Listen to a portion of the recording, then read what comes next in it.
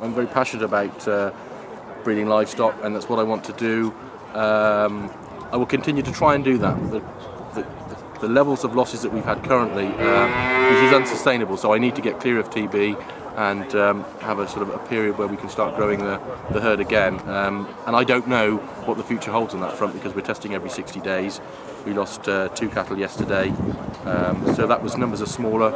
And all I can hope is that uh, uh, we do get TB free again, and um, as I say, we can grow the business on and uh, and go from there. But if, it, if we keep losing the, the, numbers that we are, it is unsustainable. And, and as, as a farmer, what, what is it actually like to actually see um, your your cattle condemned to slaughter?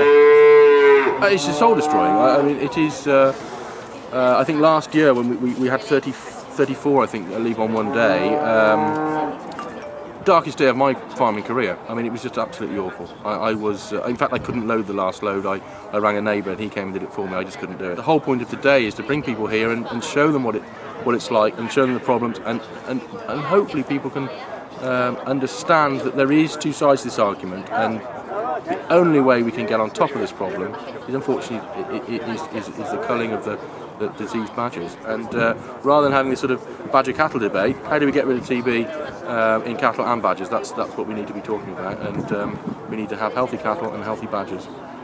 And uh, just in terms of your farm, will, will, your farm be involved in the badger cull pilots? Uh, we're not in the pilot cull, no. And, and in, in the future, would would you be open to the idea of culling badgers on your land? Or? Yes, it's necessary, and uh, I certainly would do. Yeah.